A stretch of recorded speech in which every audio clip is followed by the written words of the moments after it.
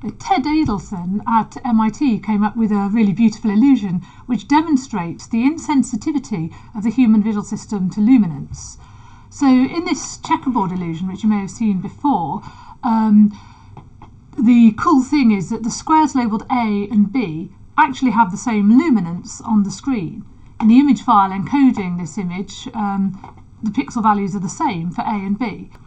So if I cover these uh, re regions of the image up, like that, and that, and that, then it's much easier to believe that these two uh, patches are in fact the same luminance. Now, that's not what we perceive when we look at the image. I hope you all have the same experience as me, that the patch B seems much brighter than the patch A. And I have the impression that it's made out of the same kind of stone, the same sort of marble, um, as these other brighter tiles, whereas A is the same as these darker tiles. And why this illusion works, uh, you can see that the cylinder is casting shadow over it, so that's part of the reason that my visual system understands that this is in fact a bright uh, type of material that's being viewed in shadow, whereas I interpret this patch as being an intrinsically darker material that just happens to have more light falling on it. And as I say, what we evolved to sense is the material that things are made of, so we just have this immediate impression of the different perceptual brightness of these surfaces that's quite independent of the objective luminance of the two of them. And that, by the way, is why luminance isn't, there isn't a one-to-one mapping between luminance and brightness. In general, things with higher luminance are going to appear brighter to us, but as we've seen, that's not always the case. And that's why we have these different words. Luminance to describe something that's essentially a property of physics that we could measure with a photometer, and brightness, the perception that's created inside our brain. Okay, so if that's luminance, then what exactly is contrast? Can we be a bit more precise about these definitions? Well, I think you all have an intuitive understanding of what's meant by contrast. So here's an image of Hadrian's Wall, and I've just adjusted the um, contrast slider in an image editing program. So this, the program told me is high contrast, and this is low contrast. And you can see that it's something to do with the range of luminance values within the image. I've tried to achieve that all the average luminance across the image is the same in all these cases, but here the variation between low and high luminance is rather small, and here it's much greater, and it's that that makes this the high contrast image. For measuring contrast sensitivity clinically, um, we might use a Pelli-Robson chart like this one. So it's a variation on the Snellen chart that you've probably seen when you go to um, an optician's and they ask you how many letters can you read down and it gets harder and harder because the letters get smaller and smaller. Well here it's getting harder because the letters are getting lower and lower contrast as you go down. So you can ask how far down this chart can somebody read.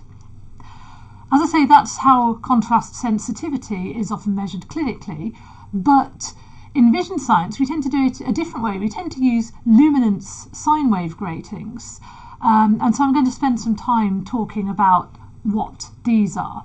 But essentially what they are is shown here. So uh, it's a pattern of luminance which is varying sinusoidally across the image. So if you imagine the y coordinate here, you can see that it's going from bright to dark to bright to dark. So the luminance is going up and down like a sine wave, and that's what makes it a sine wave grating. And from left to right, these are sine wave gratings with increasing spatial frequency. So high frequency, you've got more of these stripes per unit space than in the low frequency ones.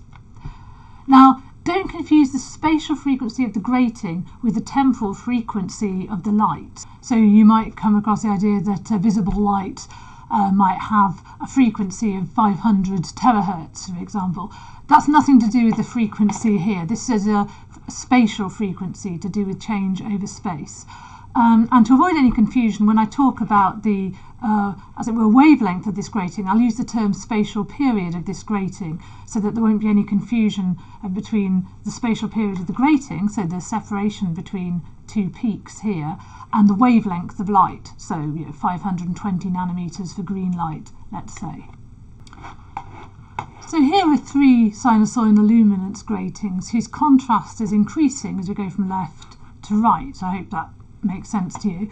And hopefully you can see that this formula captures that. So the higher contrast one here, the difference between L max and L min is clearly greater than for the low contrast grating. And you see that that formula here is capturing that.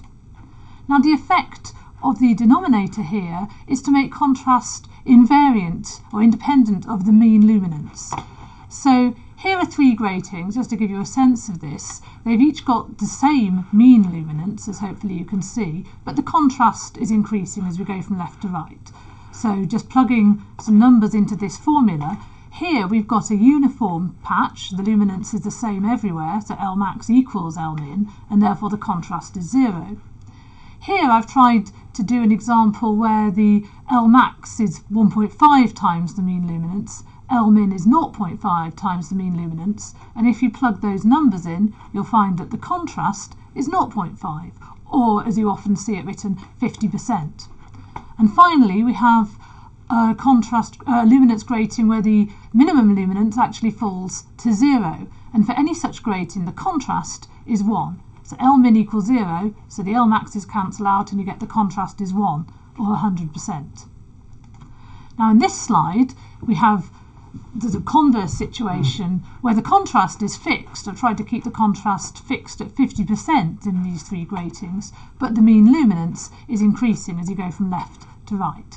So although luminance and contrast might sound rather similar, actually they're independent. You could have a high luminance image with low contrast, or you could have a low luminance image with high contrast. Um, they can just vary independently. They're two different things.